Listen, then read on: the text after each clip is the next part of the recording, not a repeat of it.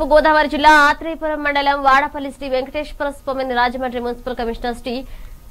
అభిషేక్ కిషోర్ దంపతులు స్వామివారిని దర్శించిన సందర్భంలో స్వామివారి దర్శనం వేద పండితులు ఆశీర్వచనం జరిపి శ్రీ స్వామివారి తీర్థ ప్రసాదాలు ఇచ్చి స్వామివారికి చిత్రపటం బహుకరించారు. విశాఖ జిల్లా అరకులోయ పరిధి అనంతగిరి మండలం